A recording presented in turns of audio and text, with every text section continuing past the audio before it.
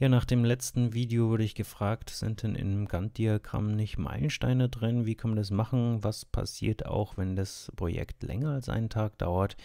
Hier habe ich mal eine andere Variante. Ja, hier sehen wir nochmal unser Gantt-Diagramm vom letzten Video.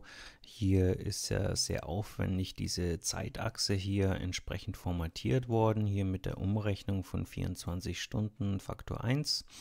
Ähm, das Problem hierbei, das sich hier gibt, ist, dass am nächsten Tag dieses Projektes ja wieder um 8 Uhr begonnen wird. Das heißt, diese Reihe führt sich dann unten um 8 Uhr wieder fort.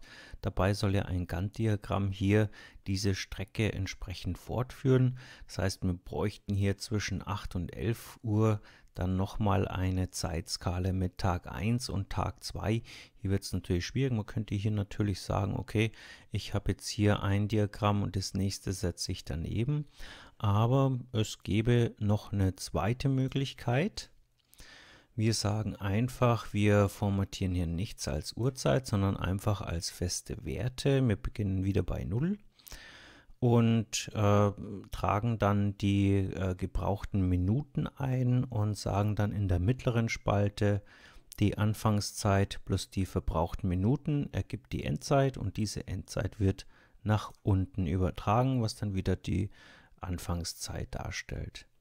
So, wenn man das entsprechend abbildet, dann führt sich die Reihe natürlich entsprechend nach unten fort.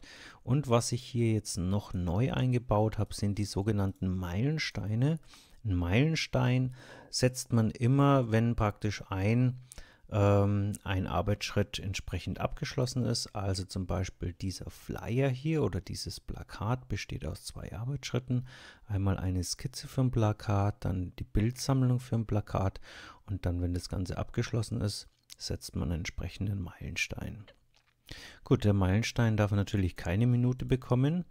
Damit wir ihn aber abbilden können, brauchen wir eine dritte Spalte. Okay, setzen wir erst einmal unser ganz normales Gantt-Diagramm. Hier muss ich wieder zwei Daten rein markieren, also einmal hier diesem oberen Bereich mit und die Spalte D, dann kann ich sagen einfügen, Balkendiagramm gestapelt. So, und man sieht jetzt hier schon, dieser Bereich, halt zuerst muss ich diese Achse natürlich umdrehen, also Kategorien in umgekehrter Reihenfolge. So, jetzt beginnt es hier mit den 20 Minuten und die blauen Balken, die formatiere ich entsprechend farblos, die Ränder auch. So, und man sieht hier schon bei den Meilensteinen, da ist hier jetzt äh, nichts drin. Da kann ich jetzt nochmal mit einem Rechtsklick drauf gehen, sage Daten auswählen und dann kann ich natürlich hier eine nächste Datenreihe entsprechend eingeben. Jetzt habe ich einen kleinen Fehler gemacht und zwar hier muss ich natürlich sagen hinzufügen und dann die Reihenwerte, die bekommen wir entsprechend hier. Okay, also wir haben jetzt einen nächsten Reihenwert, den muss ich natürlich noch eintragen, am besten mit 10, dass sich das entsprechend groß abbildet und die Legende, die kann ich löschen. So, ähm, jetzt gehe ich her mit dem Rechtsklick und sage Datenreihe formatieren. Und ich kann jetzt diesem Balken eine sogenannte Füllung geben, und zwar eine Bild- und Texturfüllung.